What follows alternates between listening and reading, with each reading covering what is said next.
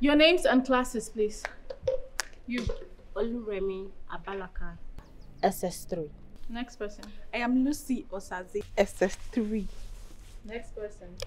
I'm Sonia Johnson. Next. Kaite Ombong. SS3.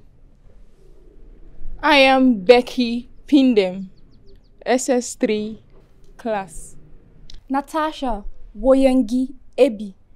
Tasha for short. SS3. I see. So, you're the big girls of the school, huh? Yeah.